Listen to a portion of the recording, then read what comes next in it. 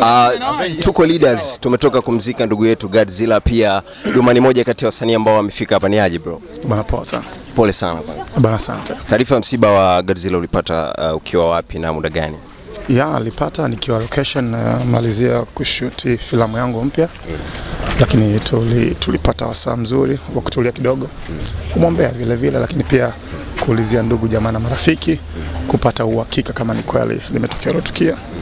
Baada ya hapo tukaprove, tukaendelea shooting na baada ya hapo tukajiandaa kwa ajili ya siku ya leo kumsindikiza ndugu yetu.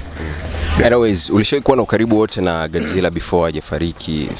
No, si sana, ila ni mshikaji ambaye tunakutana sehemu tofauti tofauti, tunapiga story, tunaongea, kila mtu anamsifia mwenzake kwa kile ambacho anakifanya.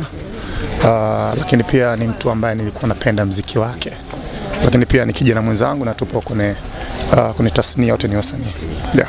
Unazungumzi- Unazungumziaje swala la wasanii kuto kusapoti wenzao, yani mpaka wafariki ndio unaona wanasupport, wanaposti cover za rest in peace and stuff? Ah, Hilo nisingependa kulizungumzia sana, hilo ni kila mtu na utashi wake. Najua kila mtu na utashi wake na maisha, kwa hiyo huwezi kumpangia mtu taratibu zake na mambo yake binafsi yeah. Tumeona kwenye uh, tuzo za zile za SZIF sinema zetu Film Festival umetolewa pale, nini tatizo?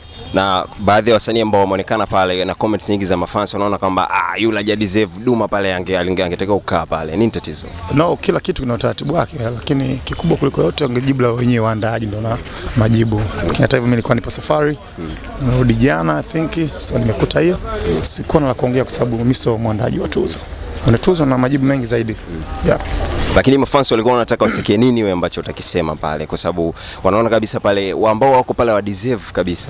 No, si kweli, kila mtu ana deserve kwenye hii industry, lakini pia kubwa kuliko yote ni kusupport kile kitu ambacho kizuri kinafanywa na wenzetu wa Azam, ni kusupport kwa sababu kikubwa kinaleta chachu kwenye industry na ni tuzo ambazo ziko peke yake kwa sasa. Kwa hiyo niwaambie tu Watanzania na mashabiki zangu tuendelee kusupport tuzo za SZF. Kwa hichi ambacho kimetokea kimekuvunja moyo kiasi gani, na zile comments za mashabiki kwamba da Duma hivi eh? Ya kikubwa zaidi mimi nimeumbwa na roho ya tofauti sana. Uh, unapomzungumzia Duma ni mtu ambaye hana moyo wa kulalamika wala kukata tamaa. Ukiangalia hustling zangu, vitu ninavyofanya mara nyingi huwa vinabezwa, lakini baadaye watu wananyamaza kimya.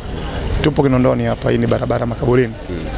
Mwaka jana wakati nameleta uh, John K kutoka Australia watu walibeza sana, lakini sasa hivi ukipita unaona mabango yangu yale pale, ile pale kuna bango la John K hapo kote, ukipita Kinondoni kuanzia pale kuna bango la mkono mtupu imebandikwa nchi nzima, hiyo filamu ambayo watu wana beza msanii nini nini, lakini mwisho siku baada ya kumleta John K this time anafanya John K anafanya kazi na Wema Sepetu, anafanya kazi na nani na na nani na, kina nani na nani na kina Anti, kwa hiyo all in all, Asante sana. Poa poa mzee.